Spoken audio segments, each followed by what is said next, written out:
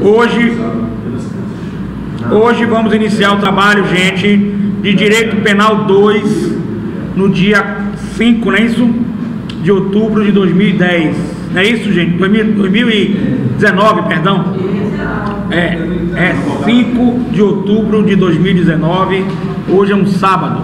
O nosso júri, a nossa audiência de júri, primeira fase, ela vai ser no dia 19 de 10 de 2019.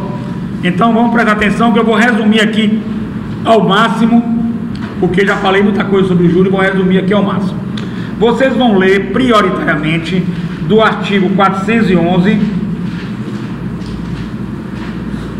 até o artigo 421 do artigo 411 até o artigo 421 do Código de Processo Penal. Vocês vão ler do artigo 411 até o artigo 421 do Código de Processo Penal. Legal, gente? Para o júri. Então, voltando aqui, vamos fazer uma divagação rápida para a gente entender. Quando ocorre um crime, o daqui vai ser qual? Audiência de júri? Bom, para evitar falar do caso do pode dar dica, defesa ou acusação. Vamos prosseguindo com outro caso. Vamos ao caso do jogador Daniel. Daniel foi morto por aquele empresário, né? O caso está ainda em discussão na justiça. E esse Daniel que morreu, ele ficou numa mata, foi descoberto o corpo dele. Quando se descobre o corpo, se fecha o local, não é isso, gente? Isso. Depois de você fechar o local, o que é que você faz? Chama a polícia.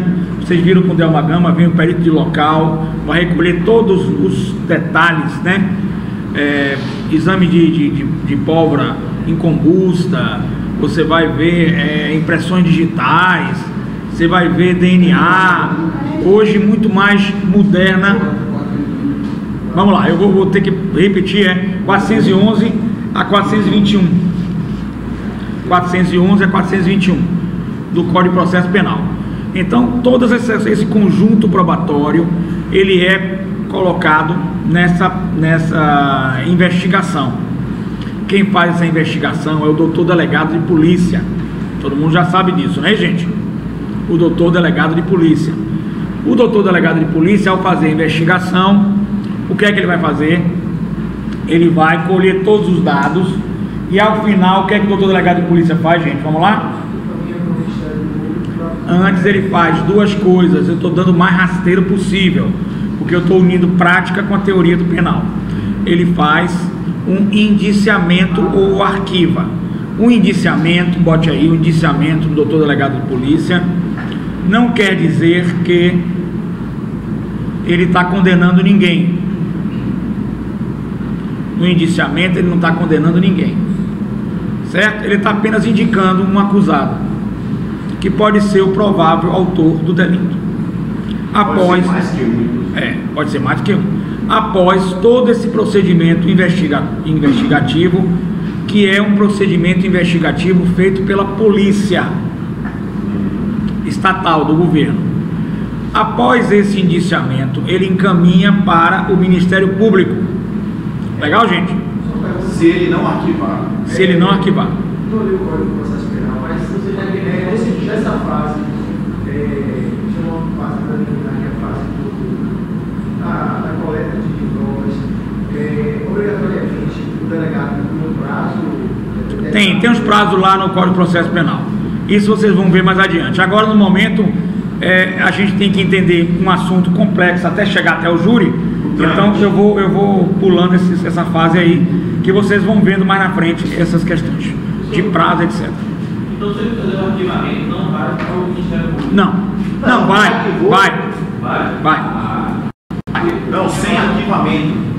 Com arquivamento ou com indiciamento, vai para o Ministério Por quê? Porque o Ministério Público, ele é custo legis, bote aí. Ministério Público é custo legis, que significa ser, o Ministério Público é o fiscal da lei. E o Ministério Público, nos crimes contra a vida, é o Domus Litis, é o dono da ação penal. Legal, gente? Público é custo leves. Custos, custos, Ah. leges, fiscal da lei. Ah, leves. ativa e oferece essa denúncia para o Ministério Público, o Minis- o Ministério Público, nesse caso, ele ainda tem a possibilidade de aplicar. É, lógico, ele é totalmente. Olha, quando ele manda para o Ministério Público, o Ministério Público tem duas funções: custo legis. E- Custo legis. O Ministério Público é fiscal da lei, custos legis. A segunda coisa que o Ministério Público é dominis litis, do latim. Em caso de crime contra a vida, ele é o dono da ação penal. Por enquanto é isso que vocês precisam saber. Nós estamos dando o básico, legal? Dominis litis é o dono da ação penal. Dominis litis é o dono da ação penal. Legal, gente? Domus litis, dono da ação penal. E é custo legis, fiscal da lei. Então, a, a polícia, o doutor delegado, ele tem vinculação com o Estado, com o Poder Executivo. Então, ele cumpre funções meramente de investigação. Quem vai decidir que é o órgão, outro órgão, dentro do Poder Estatal, é o Ministério Público, que é um órgão totalmente independente dos outros poderes e que vai decidir se mantém arquivamento, se mantém indiciamento e por aí lá vai. Legal, gente? Até aí? Todo mundo entendeu? Então nós temos aí, ó, duas autoridades que fazem juízo de valor quanto ao crime. Mesmo o Ministério Público pedindo arquivamento, tem como ainda. Vai para o juiz, que é a autoridade máxima para poder selar em definitivo. É quem tem a jurisdição plena. Certo? Vamos lá. Vamos agora prosseguindo. Então o Ministério Público, ele é, encaminha, vamos, vamos caminhar agora no nosso caso aqui concreto, ele encaminha o indiciamento, ele reverte em oferecimento de denúncia, ele oferece a denúncia em juízo, que é um órgão independente também. São três órgãos independentes: a polícia, ligada ao Poder Executivo, o Ministério Público, sugêneres, totalmente independente, e o Poder Judiciário, ligado ao Poder Judiciário. Mas quem decide é o Poder Judiciário. Então ele, o Ministério Público encaminha, vamos ao nosso caso. Ele pode, ele pode arquivar, ele pode arquivar, mas vamos ao que interessa a gente. Oferecimento de denúncia, ele oferece a denúncia em juízo. Vamos lá? Só para tipo, Diga. só para eu entender esse termo de completo, eu que acaba. O delegado arquiva, mas ainda segue o Ministério Público. Segue tudo. Segue. O Ministério Público ainda querendo arquivar, segue o juiz. Segue, tem que- Após o juiz ainda segue, não. Não, ele ainda é definitivo. Segue. certo? O juiz, quando eu falo juiz, falo Poder Judiciário com todas as suas instâncias. Porque tem o primeiro grau, o segundo grau, o terceiro e estão falando quarto. que o juiz na primeira instância ele ainda ainda segue, professor? Aí vários desdobramentos podem ocorrer. Mas o importante é que o Poder Judiciário é quem tem a palavra final. Diga, meu amigo. Tem o tribunal, tem o STJ, STF, e por aí lá vai. Pode terminar no primeiro grau, pode. Quando ele tem uma polícia pro legislativo, legislativo. Não, não, não, não, não, não. Ó, ó, ó. Pergunta aí, muita gente pergunta o que é o Ministério Público. É uma, uma, uma entidade sugênero. O Ministério Público, na minha opinião, é sugênero, porque ele não é legislativo, ele não é executivo nem é judiciário. Se fala que ele é o quarto poder, né? Entendeu? Ele é um poder feito de forma independente, é muito bom isso, para, para decidir as questões. Notem uma coisa, o Ministério Público ele não é órgão acusador. Tira essa ideia horrorosa da cabeça de vocês de que o Ministério Público seria um órgão acusador. Não é. O Ministério Público não é órgão acusador. O Ministério Público é fiscal da lei. Ele pode pedir absolvição, pode pedir inocência, pode pedir tudo. Ele fiscaliza a lei, promove a justiça. Então, então ele não significa que ele vá, ele vá ser um órgão de acusação. Ele pode acusar, mas ele não é só de acusação. Ele pode pedir Mas isso inocência. é muito fomentado na- nos meios de comunicação, que o Ministério Público é uma acusação. É, mas está a errado. mídia, a mídia, né, Zé? Não apoia. Eu já vi várias vezes o Ministério Público pedir, pedir absolvição. Já vi, inclusive, comigo, no caso concreto, o Ministério Público pedir pronúncia. A maioria dos juízes segue. É. Vamos lá. Por que no Ministério Público existe um promotor, um, um a favor e outro contra? Aí é entendimento, aí é um caso você, você dentro da democracia, você tem que ter pessoas que pensem a favor e pessoas que pensem contra. Dentro do Ministério Público também há divergências, né?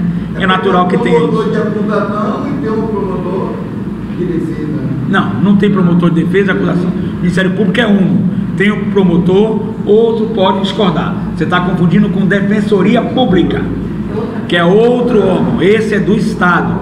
Esse está ligado ao poder eh, estatal. Esse, nesse caso, todos, todos são poder estatal. Mas esse é Defensoria Pública, é quem defende você. Ela tem a única função de defender, ser advogado de defesa. Então não é Ministério Público. Deu para entender?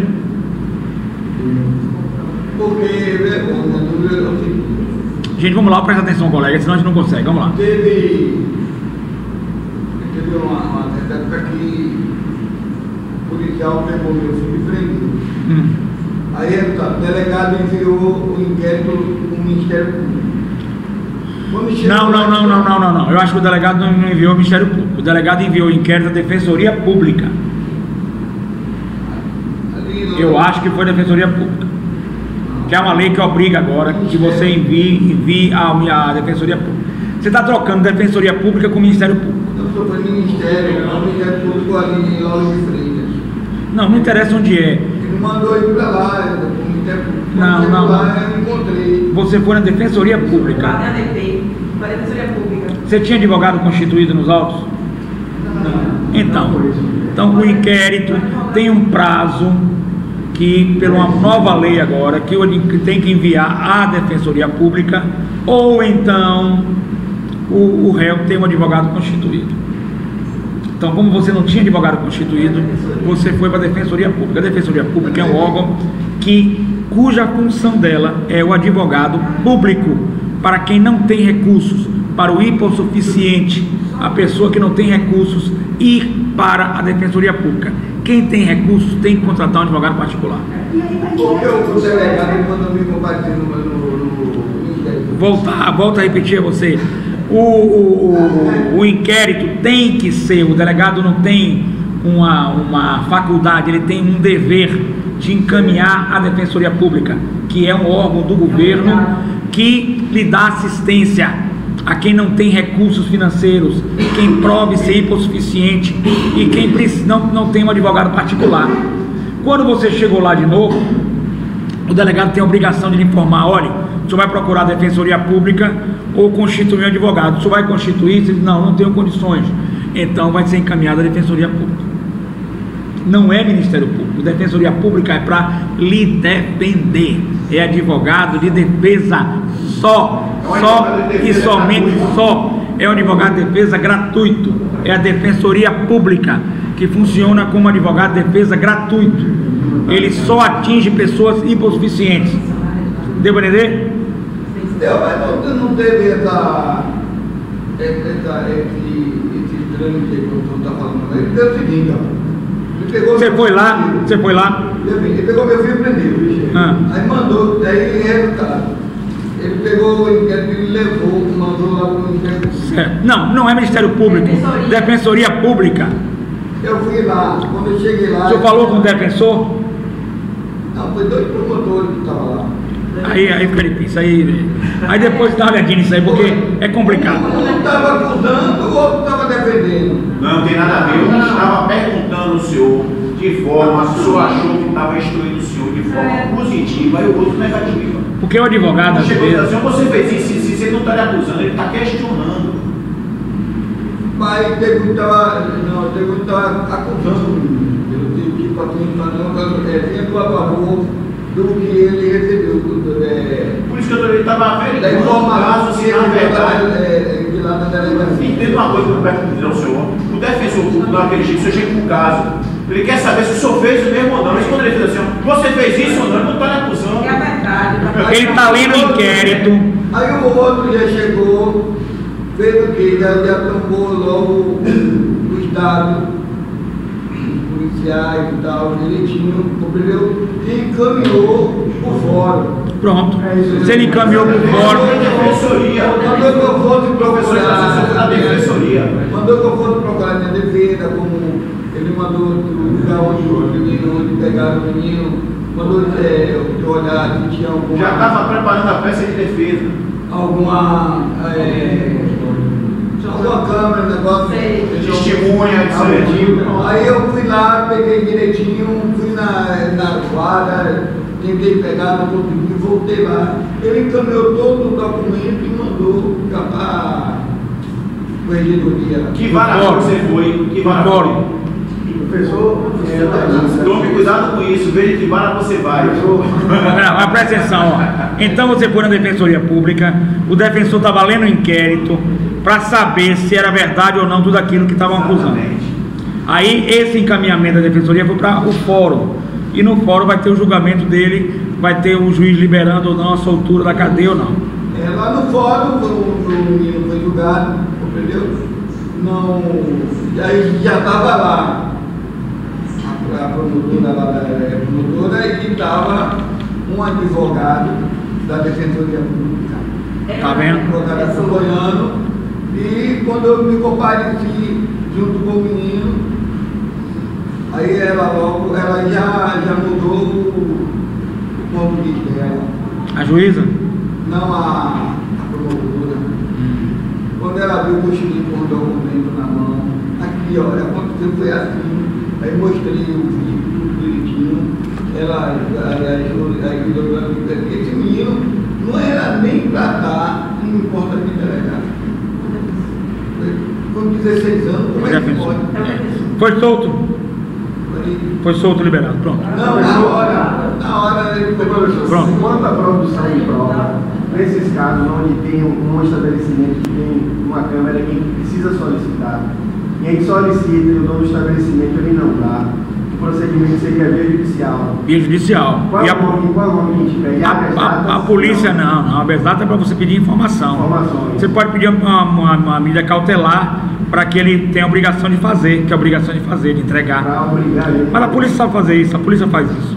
A investigação, a investigação é, policial faz tudo isso. Vamos lá, prosseguindo aqui agora. Então, chegando no Ministério Público, o Ministério Público vai oferecer a denúncia, que é o nosso caso. Oferecida a denúncia, ela vai para o Poder Judiciário. O juiz, ele tem duas opções também. Ele recebe a denúncia ou não recebe. Ao receber a denúncia, anotaram aí? Aí nós iniciamos o artigo 411 do Código de Processo Penal. Iniciamos o processo propriamente dito. Gente, observem aí que no caso de Antônio Cláudio, que foi o borracheiro, preso inocente por cinco anos e meio por ser condenado por estupro, esse borracheiro passou por esses três juízos de valores por três autoridades independentes: o doutor delegado, o doutor promotor e o doutor juiz. Nessa inicial, o doutor juiz só vai receber a denúncia ou não. Mas observem, injustificável, um erro grosseiro judiciário, inju- injustificável, porque passa por três órgãos, a própria lei faz isso, para passar por três órgãos distintos, com três autoridades distintas, para justamente evitar o erro. Né? Mas infelizmente isso não pode acontecer. Cinco anos e meio numa cadeia não é brincadeira não. Por isso que eu defendo a lei de abuso de autoridade. A lei de abuso, o caso de irmão Naves é um caso gritante. A lei de abuso de autoridade, muitos juízes, promotores, delegados, podem estar pensando que é contra eles também. É errado.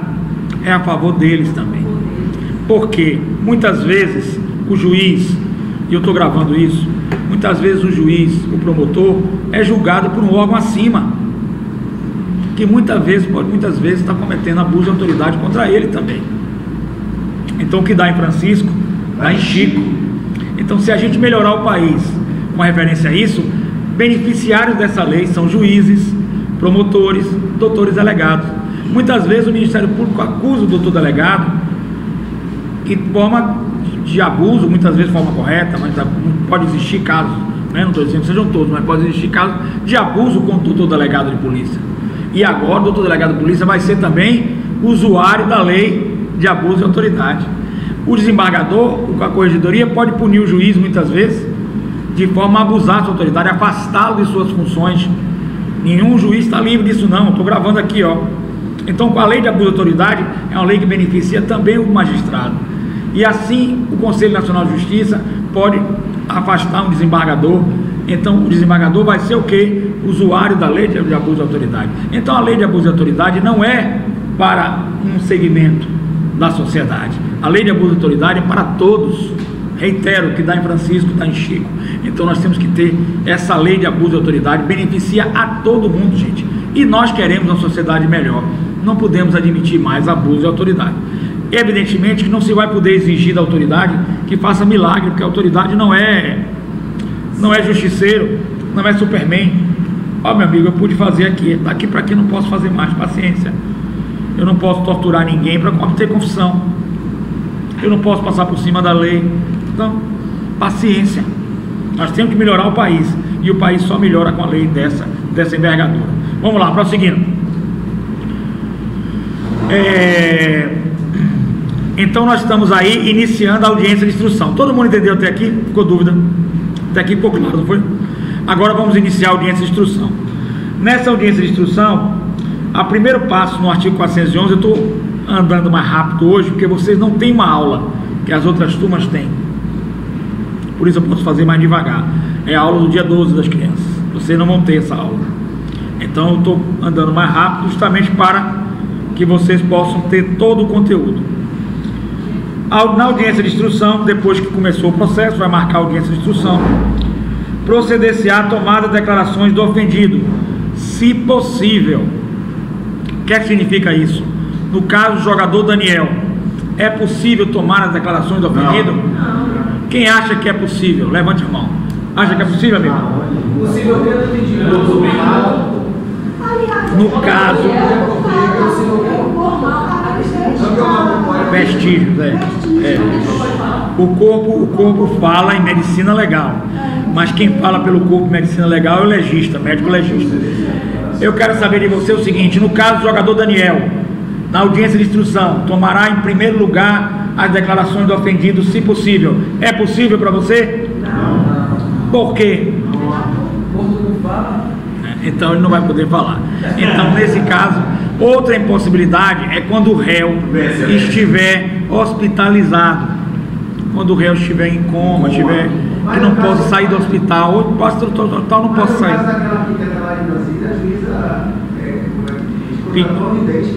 Foi? Foi mesmo? Então já está na moda a contratação de vidente. Vamos mais a uma, a uma profissão aí. As declarações de ofendido, se possível. Depois, aí vocês vão botar essa mesa assim, reta lá no auditório. O juiz vai chegar. De praxe não se usa mais isso. Não se usa. Mas se vocês quiserem fazer, é bonito. Quando vocês forem ver a audiência, não se usa mais isso. Mas outro dia estava na Justiça Federal e vi achei até bonito, né? A gente vai restabelecer só que você acha bonito. Só que acha bonito. É um formalismo bonito. Nosso ídolo. O juiz fica do lado de fora com a toca. Aí vem o assistente e diz: todos de pé para a entrada do magistrado. É. Aí no caso foi a magistrada na Justiça Federal, muito educada, aqui, amiga minha, muito bonita, por sinal. E ela entrou de toga, todo mundo de pé, depois ela sentou, todos podem sentar-se. Então eu acho que um formalismo assim, o direito é um pouco de fantasias e formalismos, né? E aí, de qualquer maneira, mas é bonito. Caso aí, o senhor não acha verdade não, sabe por quê? Nos Estados Unidos é assim.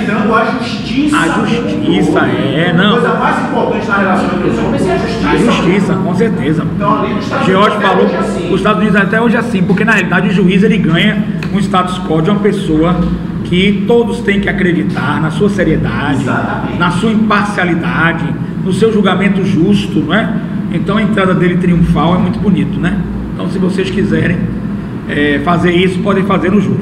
Na prática das audiências, vocês talvez não, não, não vejam, não vejam mais isso, mas é importante. Doutora Excelência. Prosseguindo. Então as testemunhas, primeiro o juiz vai ouvir as testemunhas arroladas pela, pelo Ministério Público. A palavra é essa, professor, sabe por quê? Uma vez estavam duas moças entrando no tribunal, conversando, o juiz entrou, fez. Vocês duas foram enroladas no processo, ela falou, não, só ela que recebeu a rolada, eu não.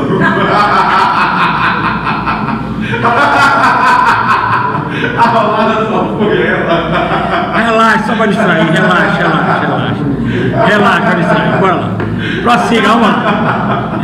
Ela não gostou, né? Não gostou. Vamos lá. Prossigam, bora lá. Gente, aí, olha só. O Ministério Público, no passado, O, o- eu peguei essa fase em que o juiz, em que a gente fazia pergunta ao juiz e o juiz fazia pergunta à parte. É horrível isso. Porque quando você faz a pergunta ao juiz e o juiz repassa para a parte, ele distorce toda a sua, a sua, o que você fala. Por exemplo, eu quero fazer uma pergunta a ele ali, ó. Como é seu nome? E Como é seu nome? Valdemir, o juiz. Então eu falo, doutor, queria perguntar se ele no dia estava de camiseta, não sei o quê. Aí você pega e faz a pergunta distorcida. Nós conseguimos uma evolução em 2008 no Código de Processo Penal e Penal, que a gente conseguiu que o, o Ministério Público e a o, o o advogado faça pergunta diretamente à, à testemunha. Isso é um avanço maravilhoso. Então você não tem negócio de conversa. Então o juiz vai abrir a palavra para o Ministério Público, o Ministério Público vai perguntar diretamente às suas testemunhas. Na realidade, a testemunha não é do Ministério Público. Passou A testemunha é da Justiça, mas se tem esse jargão jurídico que se trouxe, foi trazida pelo Ministério Público, é dela, mas não é dela, é da Justiça. Depois, o Ministério Público, a defesa faz as perguntas às testemunhas do Ministério Público. Nessa mesma ordem, você inverte para a defesa. A defesa faz as perguntas às testemunhas eh, do Ministério Público. Terminado isso, o juiz faz as suas perguntas. A qualquer momento ele pode interromper. Excelência, por gentileza, eh, doutor, por gentileza, eu gostaria de fazer uma pergunta com a dúvida. O juiz pode, que ele preside a sessão. Para dar mais Diga. chegada, o senhor me perdoa, acho que o senhor fase, porque, Vou, vou falar essa fase já, já senti que eu já pulei. é, porque tem que apresentar também Ah, o caso. O caso, é, vou pulei essa fase. Vamos lá, eu vou voltar essa fase. Mas vamos aproveitar que eu já estou nessa fase, vou adiantar. Daí, o, a defesa vai fazer primeiro a pergunta às suas testemunhas e depois o Ministério Público às suas as testemunhas da defesa. Deu para entender? A defesa começa com a, com a dela, depois o Ministério Público vai na da defesa, faz a pergunta, por último o juiz. No Ministério Público, o inverso. O Ministério Público faz a pergunta às testemunhas, a defesa faz as testemunhas do Ministério Público. Deu para entender o mecanismo, gente? Aí? Peraí, Nessa história de volta à ordem, o senhor pegou assim, a primeira coisa antes de apresentar o caso, não Ah, apresentar ah, vou apre- eu vou- a primeira coisa é apresentar o caso. Eu pulei. Eu pulei, mas eu vou apresentar rapidinho o caso, rapidinho. Mas antes eu queria entender. Senhor, Entrou o juiz todos de pé. Pronto, acabou. Pronto. Vamos lá, vamos iniciar. Aí ele Entrou, veio- entrou o juiz todos de pé. As testemunhas, só queria fechar isso aqui. É até oito, até máximo. Mas você pode ter uma. Não fique impressionado em processo, que as pessoas ficam impressionadas. Aí eu trouxe cinco testemunhas. Cinco testemunhas que vão se atrapalhar por, por si só. Não se preocupe, você tem uma segura, é melhor. Né? Concorda comigo? Lógico. Não se preocupe com quantidade. É, Cinco que, que vão se atrapalhar todinha lá, não interessa. Uma só pode matar. Então, vamos imaginar aqui que são até oito e vocês só trouxeram uma de cada. A juíza entrou, todos de pé, ela vai abrir o caso. Como é que ela vai abrir o caso? Senhoras e senhores, na data de hoje, 19 de outubro de 2019, Processo número tal. processo, você inventa o número de um processo, número tal, e aí você começa a falar. O caso ocorreu no dia tal, dia tal, com aconteceu tal, tal, tal coisa, né? Você começa a narrar o fato sem, Estão nos autos. sem, sem acusar nem inocentar. Frio e calculista, sem entender para acusação nem para absolvição. Narrar o fato. Narrou o fato, você inicia a sessão. Aí vamos imaginar que o doutor promotor de justiça tem uma testemunha, Joana. Aí ele faz as perguntas, não tem limite de perguntas, faz quanto que eles queiram. Terminou as perguntas, o juiz pergunta, está satisfeito? Estou. Aí vem a defesa. A defesa faz quantas perguntas quiser também. É da defesa fazendo as perguntas à, à testemunha de acusação. Depois é a testemunha de defesa. Rapaz, professor, o teu oitiva do réu. não. ao tio do réu último, esqueceu? Sim, mas eu falo. E a? Eu fui para dois, eu fui para dois tribunais que tiveram, tiveram a a oitiva inicial. Errado.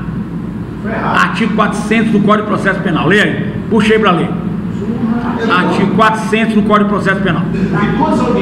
Vamos ler. Artigo, artigo 400 do Código de Processo Na Penal. Tem exceções para o caso de drogas, crime de drogas. Porém, essa exceção já está derrubada pela As duas jurisprudência. que eu vi foi homicídio, fizeram a mesma coisa. Errado. Olha só, presta atenção. Dos processos em geral. Leia aí dos processos em geral, depois vai lá. Artigo 400. Não, leia antes dos processos em geral. Pronto, dos processos. Em geral, em espécie em geral, né? Isso. Então, todos os processos Vamos As lá. provas serão produzidas numa só audiência, podendo o juiz definir e. Porque aqui é que parte do paciente. Todo ele. Tudo. Na audiência de instrução e julgamento, a ser realizado no prazo máximo de 60 dias, proceder-se à tomada e declaração do ofendido, a inquisição da testemunha arroladas pela acusação e pela defesa. Nesta ordem, ressalvado o disposto do artigo 222 deste mesmo Código, bem como o esclarecimento dos fatos às acariações e ao reconhecimento de pessoas e coisas, interrogando-se em seguida o acusado. Ele é o acusado, é o que, gente, a ser ouvido? Último. Agora pergunta pro senhor. Vou repetir. Tem dúvida na, na, na leitura desse não, texto? Não tem. Agora pergunta. Tem interpretação na leitura desse não, texto? Não tem. Agora, eu pergunto ao senhor, e ocorrendo isso com o juiz, a gente faz o quê? Porque se tiver interpretação na leitura do texto, eu pego aqui para interpretar. Exato. George chegou aqui com o pé, Quebrado. ele está mancando. Ele trouxe um atestado aqui com, de um médico com o pé quebrado. Todo mundo está vendo. A gente tira a bota dele e está vendo que está fraturado. Aí ele chega e diz assim: não. George não está com o pé fratu- fraturado. George está andando normalmente. Aí todo mundo para assim, Jorge está andando normalmente? Como? Jorge trouxe atestado, nós abrimos, nós vimos, ele está andando com muleta, não há dúvida que ele está com o pé fraturado. Mas ele, como juiz, chegou e disse, não, Jorge está andando normalmente. Aí todo mundo parou, um olha para o outro assim, ó. Aí isso só pode acontecer em um local. Quiser notar, pode anotar. No H, bote H. Depois você bota C. Depois você bota T. No hospital de custódia e tratamento psiquiátrico. Em que você chega lá e o cara diz, eu sou Napoleão. Pronto, acabou. E acabou. Porque, gente, leitura pode ser interpretada quando surgem dúvidas. Mas nesse caso, não há dúvidas. A leitura é clara. Eu defendo um ativismo, um ativismo jurídico, legalista, formal. Irretocável. Não há, não há o que discutir aí. Se houvesse que discutir, já certo. Agora, quando você entra na lei de antidrogas ou leis específicas, que diz que ele vai ser o primeiro a ser ouvido, mas ela é mais antiga do que o Código de Processo Penal, aí ele não recepcionou ela, ou recepcionou, aí é outra história. Mas negócio como é na Finlândia, delatado, delatou, não é aqui no Brasil, na Finlândia. Delatado, delatou, o réu último a ser ouvido. O réu não foi o último a ser ouvido, o processo tem um caminho, sabe qual é? Nulidade. Professor, pergunta agora. Você pode ter a nulidade do processo todo para voltar à investigação, você pode ter o processo todo para voltar à instrução, o início da instrução. Legal? Ocorrendo isso no júri, então o que, é que o advogado de defesa pode fazer para chegar lá? Excelência, o senhor não vai poder. O advogado não pode fazer nada, o advogado pode dizer a ele que está errado. Se ele insistir, eu, eu não, não, tô, não sou, não tô aqui para me estressar nem bater boca, né, com o juiz, É. né? Porque tem juiz que passa mal, tem pessoas que passam mal, eu também posso passar mal. Então eu cuido de minha saúde. Excelência, eu tenho muito respeito por Vossa Excelência, muito carinho, muito apreço. Vamos fazer o seguinte: eu pediria que Vossa Excelência registrasse em ato o meu protesto para um eventual O recurso. Para o eventual, não precisa fazer palhaçada, para eventual recurso. Ele então tem a obrigação de fazer. Se ele não quiser registrar em ata, aí já a situação já fica gravíssima. Porque, excelência, aí eu- você tem que andar com gravador. Vou sacar um gravador e vou, estou gravando aqui porque Vossa Excelência está dizendo que não vai registrar em ata. Aí já é, já é um caos. Mas se ele registrou em ata, minha gente, não tem o que discutir mais com o juiz. Doutor, muito obrigado. Registrou em ata, já é motivo para você recorrer. Acabou. Acabou o problema. Sem estresse. Sou contra bate-boca de juiz, Ministério Público. Não tem, tem que tratar com respeito, com urbanidade. Todo mundo ali está para trabalhar. Certo? Outro dia, uma promotora minha, amiga minha, me ligou, agoniada. Disse, "Olha, você vai entrar no estresse pós-traumático. Você larga dessa ma- ma- maluquice ficar brigando. Registra em ata, não registrou seu protesto? Você fica pensando como é que você vai fazer o recurso, acabou. Não briga nem nada, no final foi um prazer em conhecê-lo, prazer em revê-lo, acabou, meu irmão. Como é a família? Como é a família, tudo bem, tudo ótimo, tudo maravilhoso, não tem briga.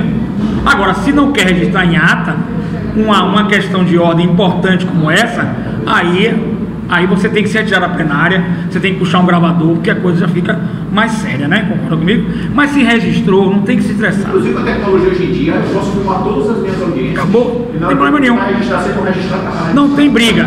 Não quer fazer, tem que cumprir a lei. Cumpriu a lei, você saiu sem se estressar, se aborrecer, sem passar mal, sem subir pressão, sem nada. Legal? Numa boa, sem Se eu estresse. retar, eu posso dizer assim, eu fui aluno de Martinez! Pronto. Posso? Aí o pessoal- aí o pessoal- Autorizado? Mas você pode falar com calma. Falando mais cedo, pessoal. Se treine logo. Tem 90% de ganho já. Aí já, já, já, Mara. Vamos lá. Prosseguindo. É só registrar em ata. Faz com educação, com respeito, registra em ata. A partir daí você já fica bolando na sua mente. Você tem que ter um acabouço jurídico. Você friamente, porque o bom advogado, o bom juiz, o bom promotor, Elegante. não berra. Frio, Bom né? cabrito não berra. É. Ele, ah, tá bom, tá certo, tá sendo feito isso, tá. Eu vou bolar uma forma de fazer um recurso para poder anular um remédio jurídico, né? Concorda comigo? Correto. Qual seria o recurso? Aí você já começa a pensar. Se está registrado em ata lá, amanhã depois você vai ter acesso a essa ata. Requisitar Você faz o seu recurso necessário e continua tudo numa boa. Legal? Certinho? Agora, se você, se as outras instâncias não atenderem a seu pedido, nós estamos com um erro judiciário em toda, em toda a sua extensão. Aí você tem que pedir uma inspeção judicial no processo, fazer um livro, certo? Agora não pode invadir para querer atirar. Aí não, nem dar facada. Mas fazer um livro pode. Faça um livro, né? De tudo, não é? De tudo posso, né? Nada pode, nada tudo menos, né? Não sei como é, é um negócio assim, né? Tudo posso, né? Nossa. Como é que tem um nome de um livro aí? Tá bom, é tudo, tudo, tudo, nada menos do que tudo, nada menos do que tudo. Você escreve um livro, publica e tenta resolver a situação. Vamos lá, prosseguindo. Então, gente, já fizemos a apresentação, já fizemos o Ministério Público falando, a defesa falando, já fluiu a audiência, certo? O ofendido, se ele estiver vivo, quem vai começar as perguntas dele é o Ministério Público. Porque em tese é quem está acusando. Legal, gente? Aí? Ministério Público que começa com a defesa deles. Gente, quando vocês chegarem no sétimo período, grave aí. Sétimo período. Vocês vão me agradecer por essas Eu aulas. agradeço, deixa agora o? Muito obrigado, muito obrigado. Aí, Vocês vão agradecer que vocês vão ver lá a coisa mais profunda e tiver na base aqui. Quem não tem a base aqui, rapaz, é um desastre lá na Outra coisa. Eu chego em nono período, os alunos que não foram meus alunos ficam loucos. Cadê a. O menino fica louco para explicar tudo a ele, tudo zero. Cadê? Escreva aí. Escreva alguma coisa boa, vai lá. George, como sempre, muito Senhor, não, é. Vamos Isso aqui é muito bom, viu, galera? Ó, eu assisti já duas audiências. Audiências online. É, onde é isso aí, Jorge? Mato Grosso é o juiz de lá, ele filma todas as audiências Ah, dele. legal, legal, legal. Depois tem prova sobre o, o- o- Trabalho o dele. trabalho. E, por exemplo, a audiência foi quatro horas. Ele dá o certificado para a faculdade via e-mail do, do- do- da sua certificação. É ponto .com, ponto .br, como é? Não, só audiências online. É só botar no Google. Ah, ele vem, ele vem o que? YouTube, o que é? Não, é via, via câmera direta, é gravada as audiências todas É dele. tempo real, é? É, tem E você real. entra como? Pelo YouTube ou entra direto no site? no site direto. Você Pô, faz sua legal. inscrição, você faz sua inscrição e já gera Audiências online, você. muito boa aí, ó, pra você Nosso assistir.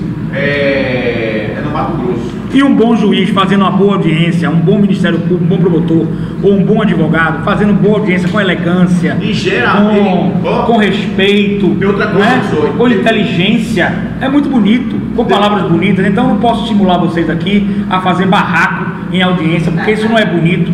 A fazer palhaçada em audiência, que isso não é bonito, isso é feio. Pode ser que em um momento da vida a gente possa fazer isso, não vou dizer que não vai fazer, mas isso não é o ideal.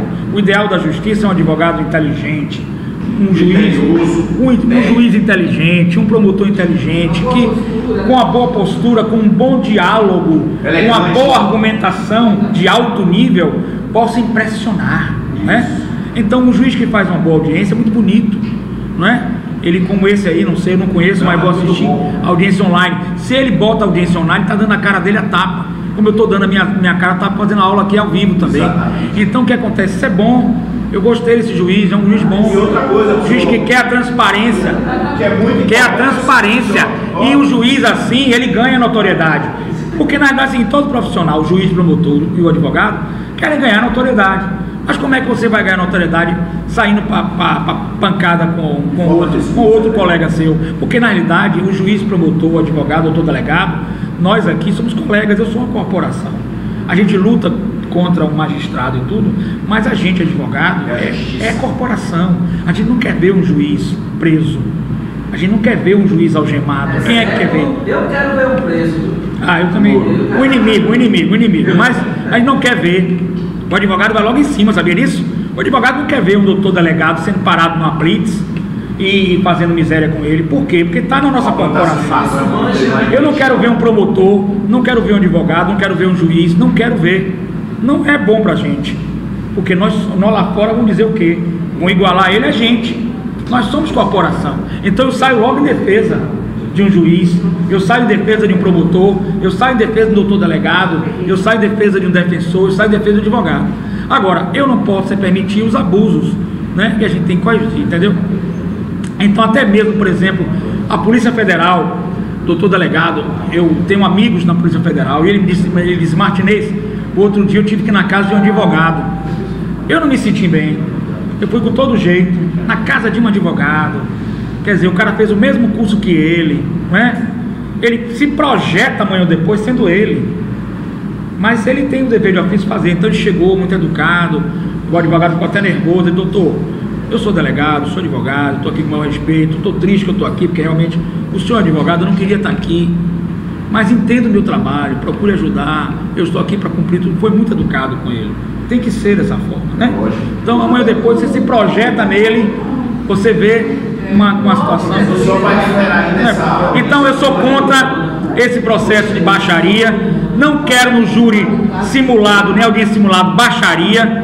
Nós não estamos aqui para fazer baixaria. Se fosse para aprender baixaria, eu faria um curso, uma matéria baixaria. Eu quero alto nível.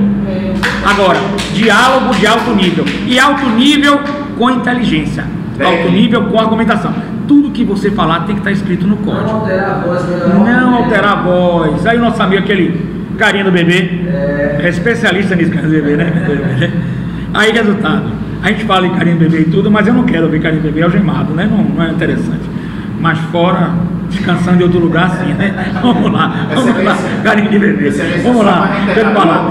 Tudo que você falar, ó, tem que estar no código, tem que estar em interpretação. Excelência, por gentileza. Excelência, por gentileza. Excelência, por gentileza. Está no código. Então, o juiz também, tudo tem que estar no código. Ele é escravo da lei. Escravo da lei. Nós todos. Eu, o promotor, ele, do doutor juiz, do delegado, nada de gritaria, nada de. Nada deliberado pela mente dele. A minha caneta pode. A minha caneta pode. É, aí, aí, meu amigo, aí abaixou. É pancada, tira com. Aí é né? campeão. É, aí não tem jeito. Será? Professor, na, na próxima. Só próxima ao pessoal.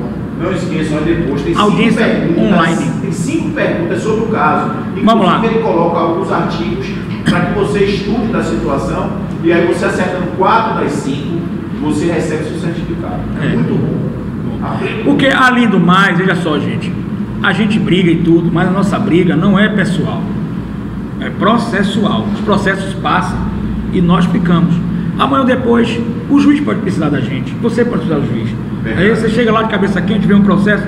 Eu já cansei de ver juiz amigo meu, excelente, pô, cabeça quente, esse processo aqui, ele abre assim, diz assim, ó, ele tá com a cabeça mais fria.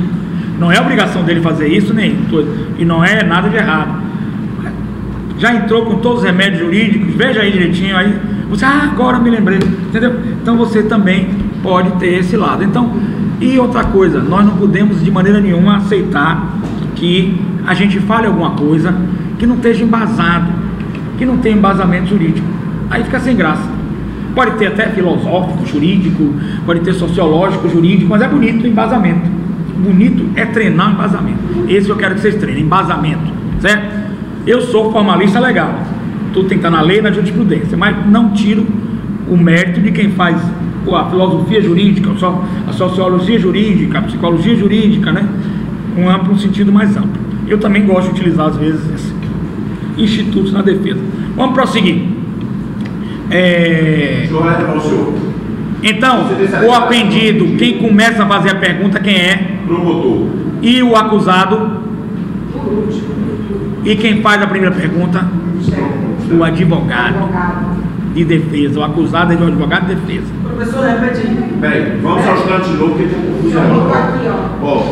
O ofendido, Todo se ele comparecer, apresenta seu caso, o promotor faz perguntas, e aí depois agora, olha só, vamos lá, todos de pé.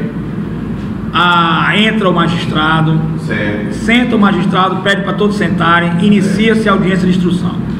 Nessa audiência de instrução, o juiz conta o caso de forma resumida, sem entrar em detalhes de condenação ou absolvição. Correto. Ele só está narrando um fato. Aí depois ele dá a palavra ao Ministério Público. O Ministério Público faz as perguntas às suas testemunhas. Legal? Certo. Depois o- a defesa faz perguntas à testemunha do Ministério Público. Depois o contrário. É, Depois da defesa. Só aí. Pera, A a, defesa a defesa. faz as perguntas.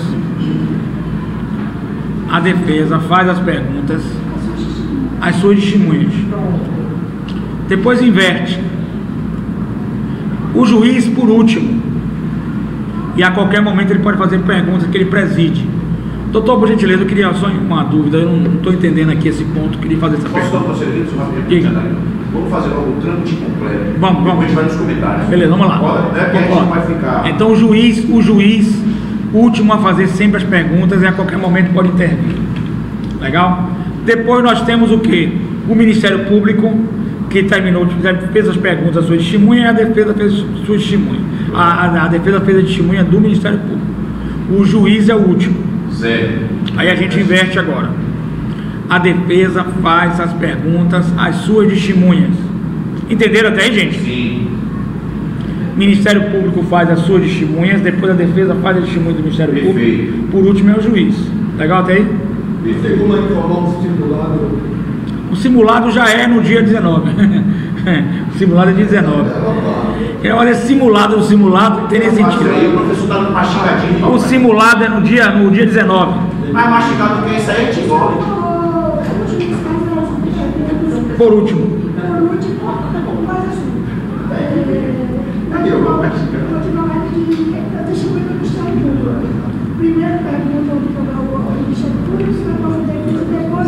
É depois o juiz, é. Momento, A qualquer momento o juiz pode intervir. Vamos lá? Depois disso, O promotor faz perguntas Não, depois de, depois Da do promotor, o promotor, não, depois disso a defesa começa fazendo perguntas às suas testemunhas. Sim. Depois o promotor faz as perguntas o time da defesa. Depois o promotor vai testemunhar da Depois, defesa. excelência, o seu juiz. Depois o juiz. Depois disso, se vocês tiverem, está aqui no código, dê uma lidinha em casa no 411, tem perícia, acariação e reconhecimento de pessoas. Perícia, no caso de inimputabilidade, você pode trazer um perito, tanto o advogado, a defesa, como o Ministério Público. Podem trazer um perito. E Após trazendo, é, trazendo o perito, Perito de qualquer das duas partes. não, um perito para cada parte. Até o juiz pode nomear um perito dele. Certo. Quando o juiz nomeia o perito dele, é perito oficial. Quando as partes nomeiam, são assistentes técnicos. Legal? Quem leu o processo é o juiz mesmo ou O juiz. Vamos lá. Então, o perito do juiz e as partes podem ter seus assistentes técnicos. Legal? Certo? Que são peritos também, mas não são oficiais. Então, no caso de inimputabilidade, geralmente se traz médico psiquiatra. Então, você tem que trazer um psiquiatra. Aí pode ser um de vocês. E as perguntas são ligadas à psicologia jurídica. Não sei se vocês já deram, já deram psicologia jurídica? Então você vai dar aí o DSM 5, bote aí. D de dado, S de sapo, M de Maria. Na perícia ou após a perícia? DSM 5 é o manual diagnóstico de transtornos mentais. Você baixa na internet isso, viu gente? Aí você vai ter o transtorno mental de personalidade antissocial, de esquizofrenia, de psicose, tudo isso você vai ter no DSM-5. Você pode utilizar o DSM-5. Se ele tiver com transtorno mental, você vai utilizar, bote aí, o artigo 26 do Código Penal. 26? Do Código Penal. E no artigo 26, hein? Se eu tiver transtorno mental. É. no artigo 26. E aí você vai no artigo 26, esse é, é penal, viu? Direito penal. Certo. No direito penal, no artigo 26, se ele tiver transtorno, você vai colocar ele como inimputável. CPP ou CP? E ele vai para onde, gente? Ele vai para onde o procurador da Fazenda Nacional, que atacou a juíza com a faca, está. HCT, Hospital de Custódia e Tratamento Psiquiátrico. Evento de pena. O artigo se se for positivo, vai aplicar esse artigo. É. Certinho?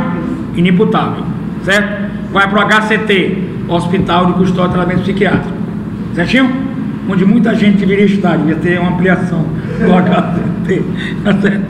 Uma ampliação muito grande, para ter uma, mais de uma fonte nova aí.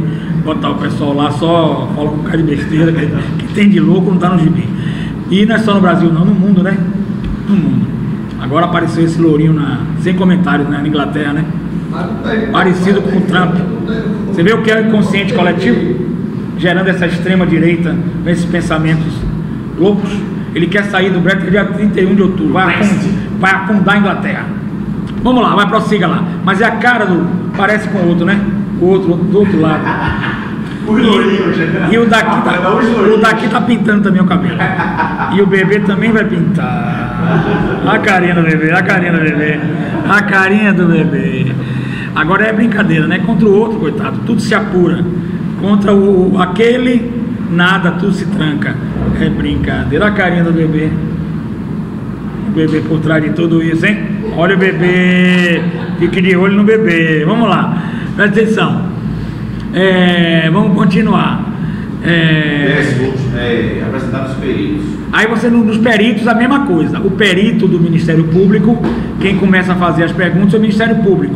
Depois a defesa faz as perguntas aos ao perito do Ministério Público. Tá, tá? Tudo que for do Ministério Público, quem começa é o Ministério Público, depois a defesa faz a pergunta ao Ministério Público. Aí vide, quer de Ministério Público, suas testemunhas, seus peritos e o ofendido. O que é da defesa? Suas testemunhas, seus peritos e o acusado. Deu pra entender? Só essa ordemzinha aí. Sim. Tem gente que se forma e não, Não sabe, sabe fazer isso. audiência. É lamentável. O Pedro Martinez para dar esse mastigado. Obrigado, obrigado. Prossegue. Vamos lá. Prossegue, prossegue. Aí depois de, de tudo isso, o juiz é o último a ser ouvido, gente. Agora, o perito, como a testemunha, é opcional. Você pode não ter. A defesa, o Ministério Público. Se o Ministério Público tiver, a defesa não tiver, paciência. Se a defesa tiver, o Ministério Público não tiver, paciência também. Se o juiz não É, olha só, quando você fala em assistente técnico, que é o, o perito da, da, da defesa da acusação, é particular. O único que não é particular é o do juiz, que ele é oficial. Acabou. Mas do Ministério Público. Agora anote aí para vocês estudarem e sair na frente. Aqui no o Ministério Público apresentando um perito, quem paga? Tem uma, uma verba dentro do Ministério Público para pagar pagamos. É, nós, nós pagamos, eu, você. É, tudo que for Estado, quem paga é a gente, né? Concorda comigo? Vamos lá. Vamos terminar para vocês me lembrarem do provimento. Tem que falar do provimento, tá? Me lembre do provimento, para falar do provimento. Do réu. Espera um minutinho, um de cada vez, vamos lá. O senhor falou que o juiz ouviu falar, mas ele não queria aquela parte que fala de uma defesa, fala de- Aí vai ser o final. Peraí, calma aí. Calma aí, calma aí, isso aí é o final. Após todas essas oitivas, né? O, oitivas é ouvida, inquirição é ouvida. Após todas as oitivas, é, tem reconhecimento de pessoas, acariação, tudo você pode fazer na audiência. Terminou tudo isso, o juiz pergunta: doutor promotor, está satisfeito? Satisfeito, excelência. Ministério Público também satisfeito, defesa também satisfeito. Agora vamos às, a, por último, perdão, antes disso, por último, é a palavra do acusado. O acusado já ouviu tudo contra si. Ele já ouviu tudo contra si. Agora ele vai falar. Ele já ouviu, você está me acusando de quê? Eu quero saber. Aí, para me defender, contraditório, para defesa devido ao processo legal. Depois que eu ouvi tudo, agora o último é acusado a ser ouvido. Não há possibilidade de troca dessa ordem, viu, amigo? Ó. Olha a carinha do bebê. Não Após pode trocar. Pode existir a cariação, é só depois a oitiva do réu, não é isso? Ó, A não última. troca, bebê. Você troca, bebê? Essa ordem? Do acusado ser o último a ouvir? Ele tem que ser Você troca, bebê? Não. Olha a carinha do Só juiz bebê. tendencioso. Olha a carinha do bebê. Vamos lá. Vamos lá, bora lá. Tô dizendo nada, tô dizendo que não troca. Olha, olha a carinha do bebê. Você não troca essa ordem. Acusado é o último a ouvir. Meu amigo vai ser presidente de lá da Noruega, viu? Mas na Noruega vai ser, vai ser. Vamos Ele lá. vai ser presidente da Noruega. Bem longe, vamos lá, presta atenção. a Deus, pra- Vamos lá. O acusado é o último a ser ouvido. Gente, quem começa a perguntar o acusado, quem é? Ministério Público, promotor. Não, É o advogado. Ah, o o acusado. acusado é dele. Ah, tá. É o advogado. Depois o Ministério Público, depois o juiz. Olha lá, o Ministério Público começa a perguntar suas testemunhas ao ofendido e aos seus peritos. A defesa, as suas testemunhas, né? Ao acusado e aos peritos seus. Deu entender, gente? E se for perito do juiz, quem começa o, quem começa a perguntar? Ele? O juiz. Depois, o Ministério Público. Depois, a defesa. Deu entender? Tudo que for do, do juiz, o juiz, se for o perito oficial, quem começa a perguntar é ele, juiz. Depois Ministério Público, depois defesa. Deu pra entender essa ordem, gente? Essa ordem você não troca mais, né? Não. Ao final, diga, meu querido. E o jurado no caso da Não, jurado é na segunda fase, na se- segunda. Esse o júri é o único que tem bifásico. Ele é duas fases. Uma é a audiência de instrução e a segunda é o júri propriamente dito. Ele é bifásico. Essa é a audiência de instrução, primeira fase do júri, também conhecida no código como da acusação e da instrução preliminar. Certinho? Terminada essa fala do acusado, que pode mentir em juízo, quem vai, o que vai acontecer agora? Agora o que ela falou. Agora é a- as alegações finais. Olha o tempo no código aí. Rapidinho, senhor. 411 em diante. fazer o do réu. Primeiro é o juiz que faz a pergunta, depois é o Ministério Não, Público. não, réu, réu é a defesa. Depois o Ministério Público, depois o juiz. O juiz pode intervir a qualquer momento. Geralmente intervir, eu estou com gentileza, eu estou com uma dúvida assim. Sempre ao tratar com as pessoas, use a palavra por favor, por gentileza. É uma maneira educada de você ser com as pessoas. E se impõe às pessoas o respeito para com você. Então nada de agressão. Então ju- juiz, juiz inteligente, juiz que tem um comando mesmo, ele usa de muita educação. E impõe educação, e impõe respeito com educação, muito mais que com falta de educação. Certo? Certinho? Pela- Então, doutor, por gentileza, eu gostaria de tirar. E forte, estamos na luta, viu? Um abraço. Aí acontece, ele, doutor, por gentileza, eu gostaria de tirar uma dúvida que eu fiquei. Se o juiz é que vai julgar, ele tem direito a tirar as dúvidas dele, né? Até prioritariamente, que ele é o julgador. Então ele faz a pergunta, você não vai fazer nenhuma objeção, né? Evidentemente, né? Ah, o tratamento é tudo. Eu acho que o tratamento é tudo. Eu, graças a Deus, sou muito bem respeitado, porque eu respeito todo mundo. Porque no dia que não me respeitar, aí a coisa vai ficar feia também, né? Porque eu não vou ficar assistindo desrespeito. Mas para você ser respeitado, para você ser bem tratado, primeira coisa, você tem que tratar bem. Isso é reciprocidade. Se você trata mal, você já está dando uma oportunidade, né? De ser maltratado. Não é isso? Né? Vamos lá. Então vocês no, no audiência tem que tratar com respeito. Até porque vocês estão tratando com colegas de vocês. Aquilo ali vai passar, esse júri simulado vai passar. Vocês não vão ficar inimigo por causa de um júri simulado, né, gente? Concordam comigo? Nem se fosse de verdade. Rapaz. Vocês querem ganhar, mas nem, nem, nem se fosse de verdade. Né? Vocês ficariam inimigos. Não tem sentido. Os processos passam e vocês ficam. Nós ficamos aqui. Então vamos trabalhar numa boa. Vamos lá. Alegações finais. Agora, alegações finais. Veja o tempo aí no código, que você vai, vai ass- assistir o tempo do código das alegações finais. 411. 411. Processual. Aí, ó, em seguida o acusado e procedentes então às alegações finais. As alegações finais, elas podem ser em memoriais, escritas, porque para adiantar a audiência, o juiz, doutor, quer fazer por escrito? Ou também quer porque você tem outra audiência, aí você faz por escrito. No nosso caso, obrigatoriamente oral. Então ela será oral, porque nós estamos treinando, né? Então, você tem 20 minutos, prorrogado por mais 10. Isso está no parágrafo 4 do artigo 411. Parágrafo 4 do artigo 411. Legal? Então, as alegações finais, não há, não há interrupção nas alegações finais. Então, primeiro vai fazer a- o Ministério Público, depois vai fazer a defesa. Encerrada a sessão, o juiz vai dar então a sua sentença e vamos ver como essa é a sentença na audiência de instrução e julgamento, primeira fase do júri. Legal, gente? E aí? Tá todo mundo firme aí? Antes, porém, eu gostaria que vocês pesquisassem algo novo que está no ordenamento jurídico que vale a pena. É o provimento número 188. É o provimento número 188 de 2018 da OAB Federal da OAB Federal que permite aí você bota na internet que você baixa ele todinho na íntegra, viu? Que permite a investigação extrajudicial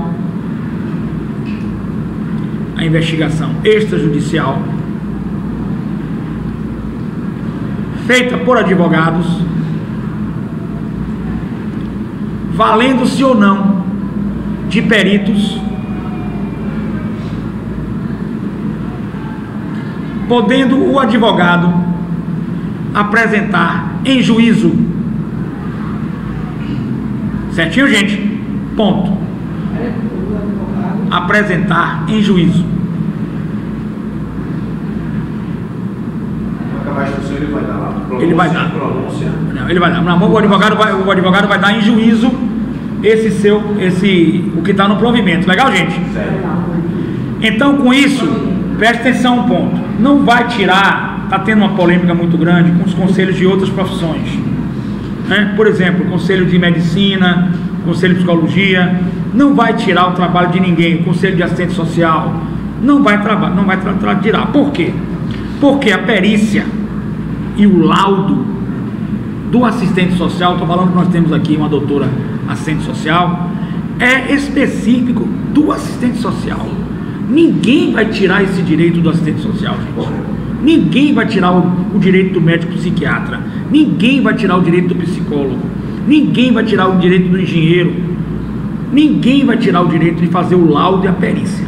O que está querendo aqui é que a OAB ela pode normatizar atividades da advocacia e o advogado fala em nome do seu constituinte, em juízo ou fora dele, e a fala dele é uma fala defensiva, ele pode falar, na minha opinião, usando esses arrazoados técnicos dentro da área de assistente social. Deixa eu terminar aqui agora. Dentro da área de psicologia, dentro da área de psiquiatria. Para isso, o ideal é que ele faça uma pós-graduação. Agora. Ele faz uma pós-graduação, especialização em assistente social. Ele vai ser assistente social? Nunca. Mas ele vai ser um pesquisador da área. E o pesquisador da área, ele vai contratar a doutora, meu nome é doutora? Bárbara. Doutora Bárbara, muito bonito, viu, Bárbara? Tive uma namorada Bárbara. Vamos lá, prosseguindo, prosseguindo, prosseguindo, prosseguindo. Foi um amor lindo, né? Mas vamos lá, prosseguindo. Então, a doutora Bárbara é assistente social, é um curso bonito. Então, ela vai ser chamada para ser assistente técnica. Ela vai dar lá o laudo dela e a perícia técnica. O advogado poderá falar em arrazoados técnicos sobre assistência social. Não precisa ter pós-graduação. Principalmente se ele for um pesquisador desta área. Porque para ser pesquisador, para ser escritor, para ser produzir artigos científicos, a ciência não delimita como as profissões delimitam. Por exemplo, você pode ser um jurisconsulto, pesquisador, sem ter feito o curso de direito. Você não vai poder advogar. Você não vai poder fazer as perícias, né? Nem os laudos próprios da advocacia, como não vai poder fazer assistente social. Você só bacharel direito, É, mas se você, se você é assistente social, você vai se valer de lógico que nós não vamos prescindir dos profissionais. Está existindo uma guerra com isso aí, porque inclusive eu quero lamentar aqui, estou gravando, tá ao vivo, uma advogada que eu pedi um, eu pedi uma consulta de uma outra forma diferente. Ela para mim desrespeitou o provimento 188 2018 da OAB Federal, desrespeitou seus colegas ao negar e ao distorcer uma consulta, querendo que os outros órgãos vão perder, acirrando os outros órgãos contra nós. Nós não estamos em briga com nenhum outro órgão, gente. Pelo contrário, nós precisamos dos médicos, precisamos das assistentes sociais, precisamos dos psicólogos. Eu pertenço à Associação Nacional e Internacional dos Psicanalistas. Precisamos dos psicanalistas. Ninguém vai tirar do mercado de ninguém. Agora o advogado, ele é acima dessas questões na defesa. Ele fala em juízo ou fora dele. Ele pode falar. Ele se embasa mais se ele tiver, se ele tiver pós-graduações. Se ele não tiver, ele é um pesquisador. Ele pode falar. Então, se tiver pós-graduação em assistente social, ele pode falar termos de assistente social em arrazoados técnicos jurídicos. Acidente de carro, eu como Ele pode, dou conhecimento de pode falar e acabou. Não tem conversa. Então é isso que esse provimento está fazendo. Por quê? Porque as investigações ficavam por conta exclusiva, e ainda ficam hoje, do Estado. Você é acusado só recebe a bomba. O doutor delegado de polícia fez esse procedimento, esse procedimento, esse procedimento, você só recebe aquelas perícias. Você tem que se defender. Chega na justiça a mesma coisa. Então, essa investigação do advogado é a possibilidade do advogado fazer investigação extrajudicial ser ativo no processo investigativo. É esse o objetivo. E com seus arrazoados falar. O divisor de águas disso tudo foi o caso Nardoni, em que uma equipe de advogados de defesa, um falava sobre eh, sangue, teve uma, uma advogada que só falou sobre sangue de local. Quer dizer, uma advogada especializada em hematologia, né? Não é isso, sangue? Hematologia. Teve outra advogada que só falou de psiquiatria forense. Ela tem três pós-graduações em psiquiatria forense. Entendeu, gente? Não vai tirar o mercado de ninguém. Mas toda vez que a gente, o advogado entra, é bombardeio aéreo, né? É incrível. O advogado O advogado pode estar na lona do que for. Mas é o charme de profissão. É o charme de profissão. É todo mundo quer ser. É o charme, é o advogado. Não interessa nem se você vai ganhar dinheiro. Você quer a carteira de ver- vermelha. O pai quer que o filho traga aquela carteira vermelha. Meu pai queria, meu pai, eu não, não sei se no dia da minha formatura, se ele infartava ou não. Porque ele só queria A carteira eu vermelha. fosse advogado. No dia que eu passei no exame da ordem para receber, ele foi comigo, ele só queria aquela carteira.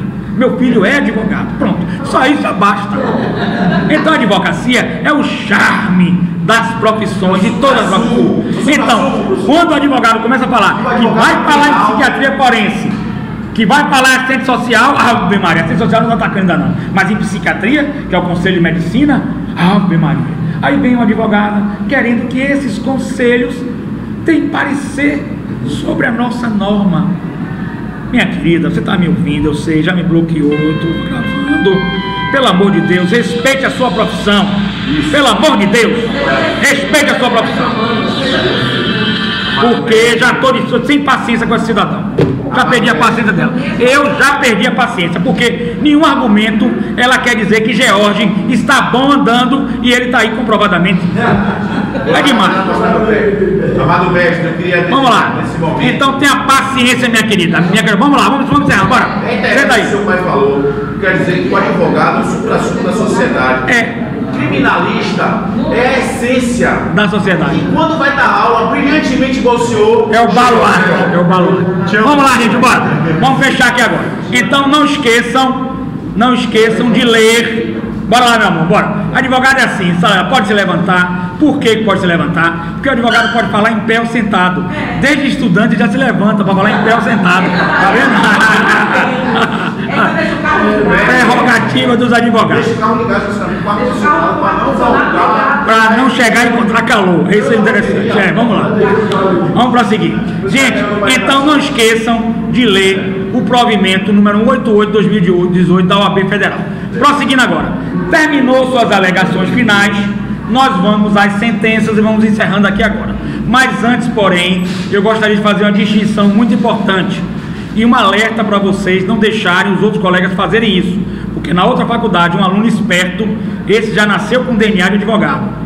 Eu não podia fazer nada porque é metodologia ativa, eu tenho que deixar vocês fazerem tudo. Porque se eu intervir fica ruim, né? Eu não deixo vocês soltos, metodologia ativa é essa. E tem duas, três coisas para falar com vocês. Primeiro, testemunha compromissada é aquela que tem um compromisso de dizer a verdade, sob pena de falso testemunho ser preso lá mesmo na hora.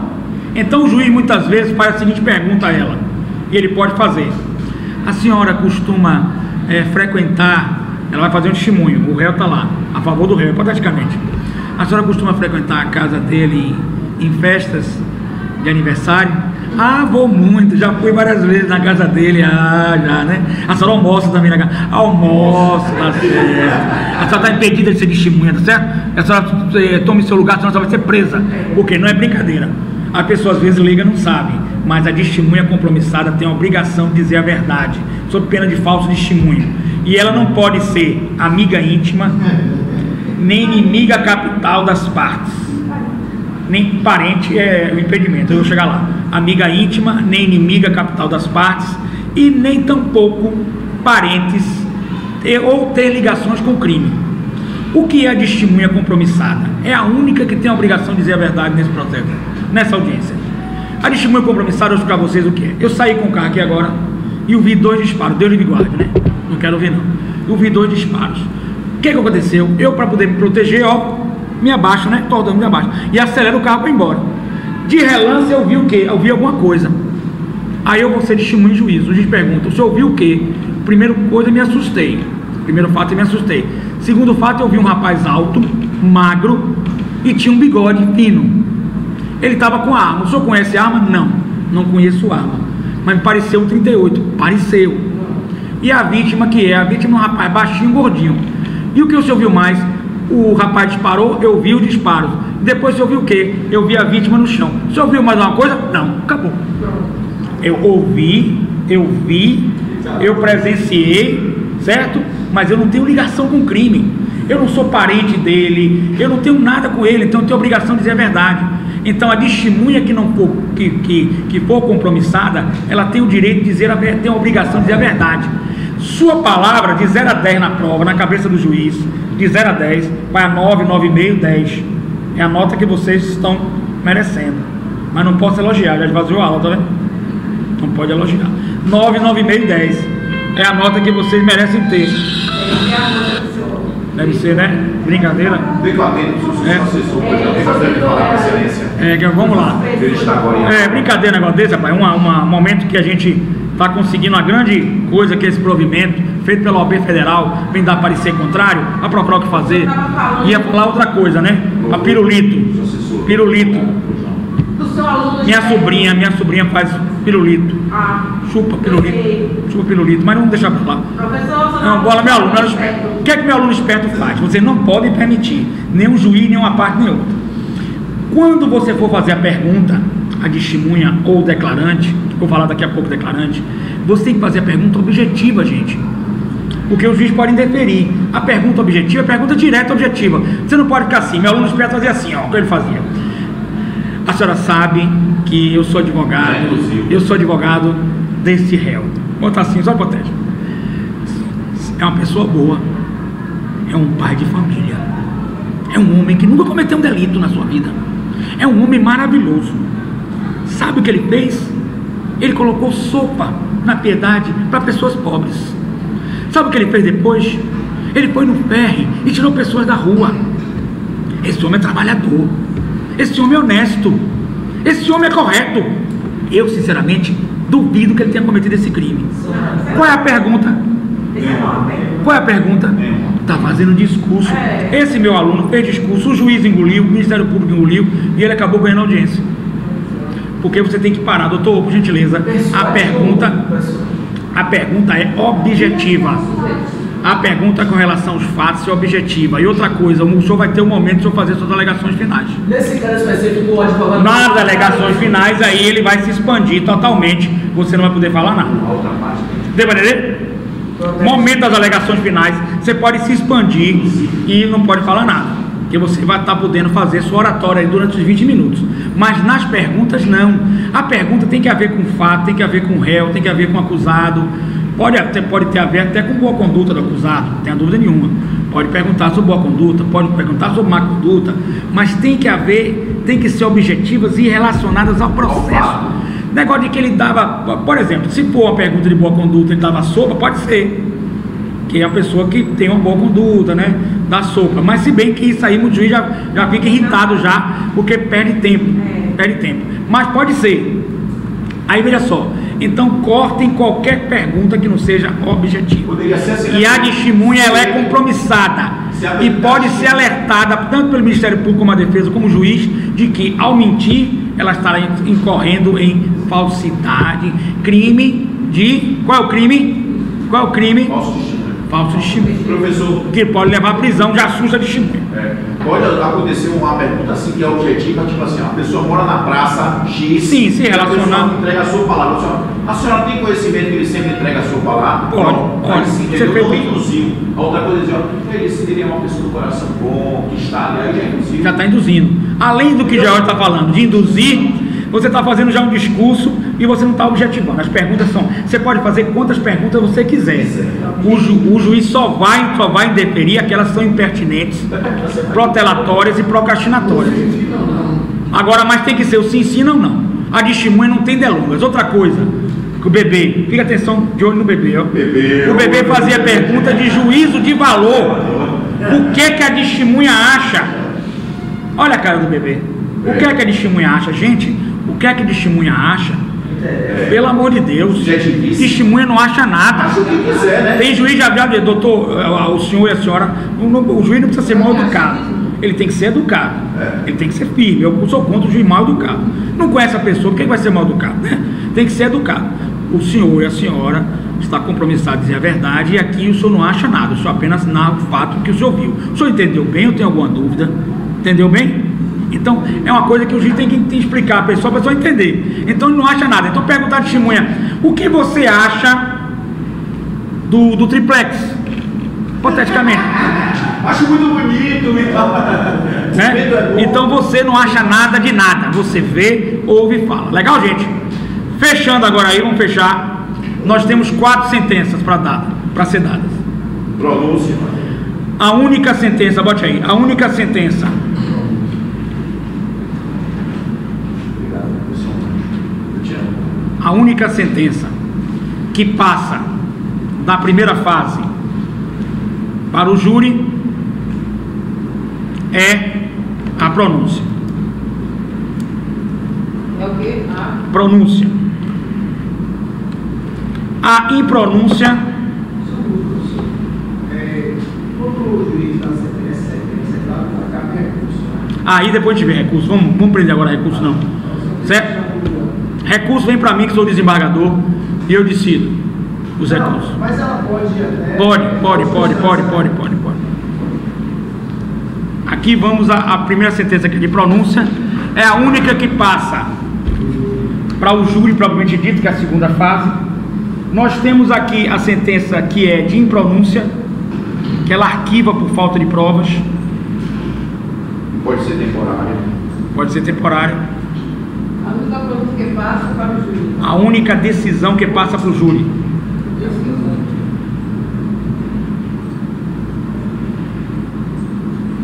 Legal, gente?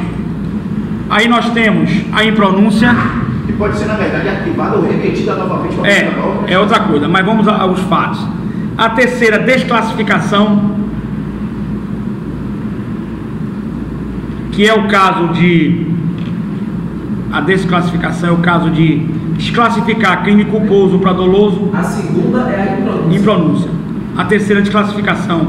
Você não é crime doloso e sim culposo, caso de trânsito, Cátia Vargas e outros. A quarta e última, absolvição sumária.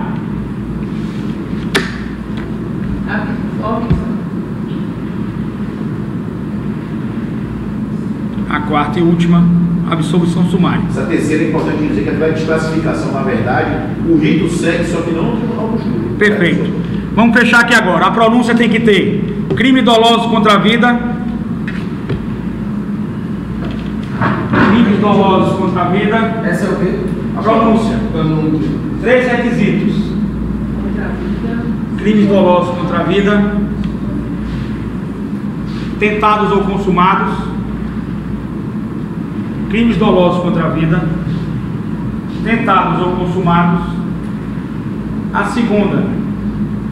Segundo requisito. São três requisitos para o processo elétrico.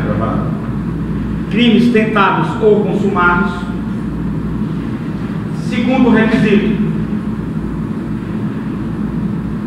Materialidade delitiva. Terceiro requisito: indícios suficientes de autoria. Materialidade. Delitiva. Indícios suficientes de autoria. Legal? Se tiver esses três requisitos, a- passa da primeira fase para o júri propriamente dito, onde teremos sete jurados leigos e a conselho de sentença que vai decidir, que é- vai ser outra sessão. Deu para entender? Na é, absolução não, não tem nada. É o quê? Na é a absolvição. A absolvição sumária é quando você não, a, a petição do Ministério Público é inébita, não tem, não tem base nenhuma. Legal? Agora vamos lá, algumas coisinhas básicas, só para entender. Rapidinho, para fechar. Estamos fechando. No caso da pronúncia, há crime doloso contra a vida tentado ou consumado, porque se for culposo, Ele vai seguir o rito normal lá. vai para desclassificação. Desclassifica do júri para outra, Outro outra, outra vara. Julgamento por um juiz. Ou juiz togado. Simples. Simples. Presta atenção, juiz togado simples, se for crime culposo, não vai fazer um culposo. Só Só, vai crime doloso. é, Tentado. contra a vida tentado ou consumado. Consumado. Agora, materialidade, materialidade delitiva. Muitas vezes a materialidade delitiva não é encontrada. Vamos citar dois casos famosos. Quais são os dois casos famosos? Goleiro Bruno. E o outro, irmãos Naves. Boa, materialidade delitiva. Dois, dois crimes que a gente vai Provas materiais, corpo. Dois crimes que a gente vai encontrar. Dois crimes que a gente vai encontrar. O goleiro Bruno e o outro segundo caso é o caso do Irmãos Naves. Minas Gerais. que não foi encontrado o corpo. Ele não apareceu. foi encontrado o corpo, não tem materialidade delitiva. Irmãos Naves. Irmãos Naves. Naves. N-A-V-E-S. Foi um caso na década de 40, dois irmãos e um primo. O primo voltou com o dinheiro para casa, é, ele tinha recebido uma bolada e a aplicador tinha uma festa na cidade. O primo su- saiu de noite e não voltou mais. Chegou um, um tenente lá, bravo da PE, chegou lá e quebrando o pau em cima de todo mundo, começou a apertar os caras, torturou, botou para quebrar, torturou a mãe dos caras, De uma mãe que foi estuprada, estuprou a mãe dos caras. estuprada na cadeia. Depois de muitos anos, foram condenados, ficaram na cadeia. Depois de 20 e poucos anos depois, aparece o cara 18 anos depois aparece o primo vivinho. vivo, pede desculpa. O cara, inclusive, perdoa o, o, o outro que tinha morrido. Você assistiu o filme todo, né? assiste tudo. É interessante. Então, esse é. Agora, a falta de corpo, irmãos Os Naves. É o caso de maior repercussão. Araraquara, é é? Araguari. Araguari, Minas Gerais. Minas Gerais. Araguari, quando você entra na cidade de Araguari, Minas Gerais, já fui lá. Tem uma estátua dos irmãos Naves, uma homenagem, um monumento a eles. Foi o maior erro judiciário do Brasil. Os caras Então, o caso dos irmãos. Naves, assiste na internet. É um filme chocante. É, os caras só acham que os caras sofreram pra caramba. Justamente, injustamente. Não mataram ninguém, E sofreram. a indenização? Você ouviu? Quanto foi? Deu, em termos de hoje, estava 37 mil reais. Comprou uma, uma casa velha lá no interior. Paulo. Vamos lá, prosseguindo. Agora a resultado da história. O que é que supre a falta de corpo? Materialidade delitiva. Vocês vão aprender no processo penal, mas na frente, duas testemunhas, testemunhas compromissadas. É o que vai suprir, excepcionalmente. Para o crime não ficar. É o caso do Bruno, né? Que apareceu com um menor e acabou dizendo que tinha visto, depois o macarrão confessou, aí começou aquele desdobramento. O caso de Elisa Samúdio, né, gente? Isso. Concorda? Correto. Então, é, materialidade delitiva, nós temos essa questão de existir corpo, e para existir corpo, tem que existir o exame de corpo de delito do Instituto Médico Legal. Certinho? Instituto Médico Legal, IML. Agora, uma pergunta interessante para vocês na prática. Quando vocês chegarem na audiência de instrução, que vai levar para o júri, o, o IML às vezes demora de mandar o- laudo. Se não tiver, não pode ter pronúncia. Tecnicamente não pode. Porque vai faltar um dos três requisitos: materialidade delitiva. Deu para entender? Sim. Então eu peguei um caso em que os dois rapazes Infelizmente, um caso triste, né? Um rapaz ficou paraplégico. A gente vai defender, a gente é humanista, né? Tem que defender com muita humanidade, né? Não pode defender. Infelizmente, é uma coisa muito triste um rapaz ficou paraplégico. Um rapaz jovem, cortar o coração de todos nós, né? Seres humanos. A gente não quer isso para ninguém, nem para o pior inimigo. Mas, infelizmente, ficou Olha a carinha dele. Olha só. Ele estava de cadeira de rodas. Chegou lá de cadeira de rodas. Eu vi, todo mundo viu, todo mundo sabe. Mas o exame não tinha chegado no processo. Então a questão de uma formalidade. Aí eu fui arguir, foi uma confusão. Eu fui arguir com todo respeito de que não tinha esse exame é, médico e que não poderia ser dada aquela sentença naquele dia porque a pronúncia, tecnicamente, para ela existir, ela precisa dessa formalidade. Eu vi, todo mundo viu, todo mundo sabe, que não era fingimento, não tinha dúvida nenhuma, era verdade. Eu, inclusive, disse, pela verdade formal, ele está realmente tetraplégico. Mas eu preciso disso nos autos, é uma confusão danada. Porque o processo não pode, o juiz não pode fazer a pronúncia Pode sem esses três requisitos. Crimes dolosos contra a vida tentado ou consumado, no caso deles era indício suficiente de autoria, eu discordo, mas o juiz concordou. Mas o segundo ponto é fatal. Abrir o processo, não tem exame de corpo de delito. Nesse caso, O IML atrasou, problema dele, não é nossa defesa. Entendi. E o hospital não mandou o exame completo, infelizmente impede, tem que remarcar, senão. Interdita o arquivo. Não, aí suspende a sessão Certo. e pede para que seja, para que seja enviado, Oficiado. né? oficiado. O Professor, correto é isso, porque se quiser a pronúncia, eu vou recorrer para o tribunal e vou pedir nulidade da mesma por uma formalidade legal. Entendeu? Sim. É uma questão de economia processual. Porque se você permitir a pronúncia sem o, a materialidade delitiva, aí eu vou chegar e dizer, olha, Bárbara matou uma pessoa. Foi mesmo onde foi do Cabula. E cadê o corpo? Ela deu fim. E cadê o corpo? Não tem corpo. Ela deu fim. E aí eu posso acusar uma pessoa inocente. Você imagine se a gente abrir esse precedente de acusar as pessoas sem o exame de corpo de.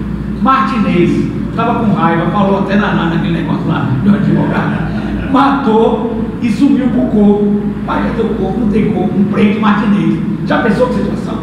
Então a gente está, por outro lado, a gente não pode deixar que um crime fique impune. Então vem a questão da testemunha compromissada para suprir essa falha. Aí vem a testemunha compromissada. Entendeu? Certo. Então não esqueça de três coisas. Para a pronúncia ser feita, tem que ter três coisas: crimes dolosos contra a vida, Atentado consumado, naturalidade materialidade delitiva e o terceiro, eu vou fechar agora o que aconteceu. Indício suficiente de autoria. Aí entra uma certa subjetividade. Indícios para ter a pronúncia passar da primeira fase do júri para a segunda fase do júri. Legal? Certo, gente? Agora o terceiro, e vamos fechar aqui, vocês já estão preparados para fazer essa audiência. Indício suficiente de autoria. Gente, é aí entra a subjetividade. O que é autoria é saber quem, quem matou. Correto. O que é indício é uma fumaça, é uma fumaça do bom direito. E o que é suficiente é alguma coisa forte. Se não for forte, não é indício suficiente de autoria. Aí vai a subjetividade do juiz. Quando, agora atenção final para fechar. Não, para fechar, para fechar bem. Quando, quando, para fechar, quando, quando vocês forem fazer a sentença de pronúncia, se for o caso, pode fazer qualquer sentença, pode fazer até em pronúncia aqui, porque vamos supor, sobe para mim, sou desembargador, e de qualquer maneira o júri vai ter, que a gente precisa ter o júri na segunda unidade. Mas na primeira unidade, se for feita a sentença de pronúncia, vocês têm que alegar essas três coisas na sentença: crime doloso contra a vida, tentado consumado, materialidade delitiva e indício suficiente de autoria. Observe que a sentença de pronúncia, a gente vai ver na segunda unidade, ela é sui generis, ela não acusa nem absolve. Essa audiência, toda ela, ela não acusa nem absolve. Ela só quer saber se você vai passar para o júri ou se não vai passar. Você poderá ser. Poderá ser encaminhado para o conselho de sentença ou não. Porque ela não absolve nem condena. Então, ao fazer a sentença, quem for fazer, tenha cuidado para não dizer o réu condenado, o réu culpado. Não. Existe um crime doloso contra a vida Indiciado. consumado, certo? Existe materialidade delitiva, existem indícios suficientes de autoria, ensejadores de pronunciar o réu, encaminhando mesmo ao julgamento pelo, para o conselho de sentença.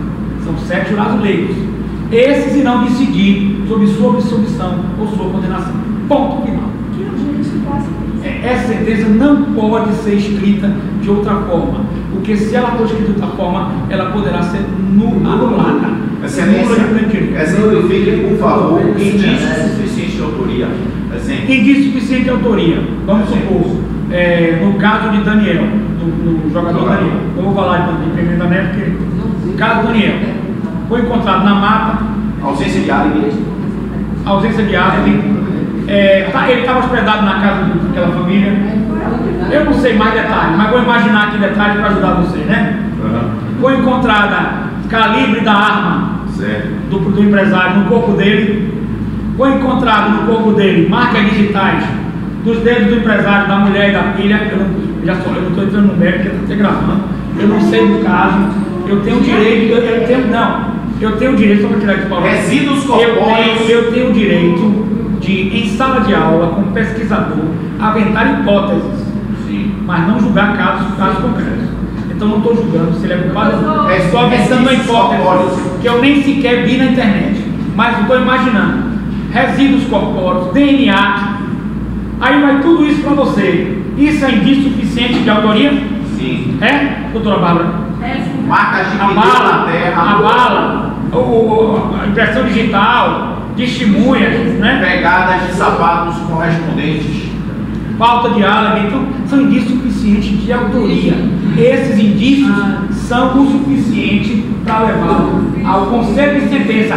E na sentença tem que dizer, o conselho de sentença, que é órgão competente constitucionalmente, Vídeos. é o que irá, é o que irá julgá-lo inocente ou culpado. Vídeos. Certinho? E ponto final. Professor, que tem? Agora, indício né? repita o quê? Existe indício suficiente. indícios suficientes de autoria, que significa um conjunto de provas periciais, testemunhais, documentais e outras que possam dizer com uma certa força que aquele, aquele autor do delito pode ser o réu.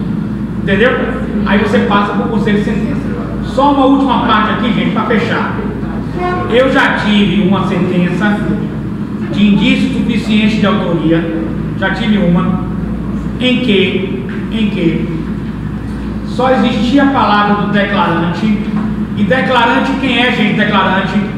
Quem pode ser declarante? A mãe, o pai, o acusado ou do réu, a esposa, o próprio ofendido é declarante, e a prova de 0 a 10 declarante é quanto, gente?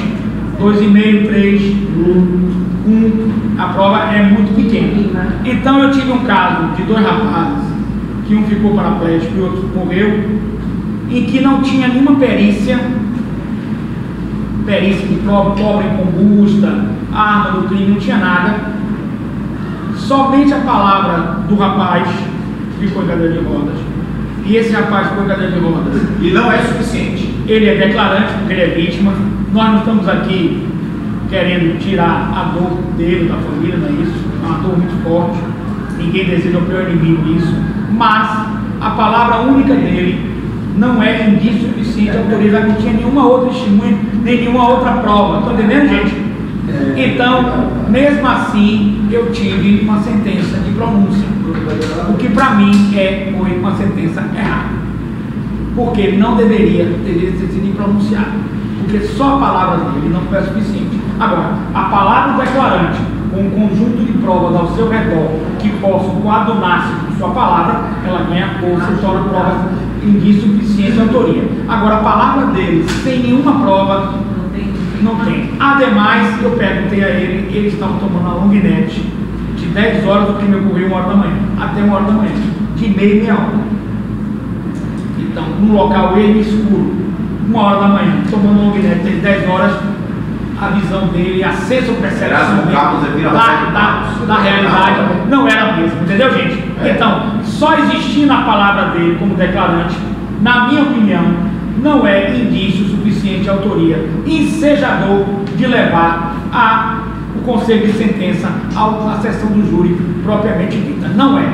Mas infelizmente eu tive essa certeza que foi errada, infelizmente, porque são três pré-requisitos. Agora, se a palavra dele tivesse corroborada com outras provas, aí sim. Certinho, gente? Ficou alguma dúvida para o júri dia 19? Não. Vamos bombar? Diga aí. Gente, olha lá, ó. Já que está terminando a aula um só. Ele quer perguntar ao colega. Vamos ouvir, bora. Jorge, vamos ouvir, vamos ouvir, vamos ouvir, ó. O colega quer fazer uma pergunta, vamos ouvir o colega, vamos lá. O o Código de Processo, de processo Penal, ele tanto serve para ele serve para todo o conjunto dos entes, certo? E aí o que acontece? O senhor falou que tem casos que o, o exame de, corpo- de, de, de corpo eh, não chega a tempo para ser uma das fases da pronúncia. Certo. Aí o que acontece? Aí é feita a pronúncia, certo? Marcado o júri. Certo. Certo? Não, não. Não, não, pode ser, eu estou falando se Sim, acontecer isso. tá errado. Está errado. Aí eu pergunto ao senhor, de ofício, de ofício, o juiz, ele não teria a prerrogativa de Sim. não, de não encaminhar é, essa Pode, ele pode suspender, a audiência é una. Mas nesse caso, faltando um, um- um exame médico, ele pode suspender. É um motivo Sempre se superior. as partes, as partes solicitaram. Sempre se a parte de ofício ele pode fazer isso. Entendeu? Ou a parte pode solicitar e atender. Que é o melhor caminho. Porque mesmo que chegue depois, deveria ter chegado na fase de pronúncia.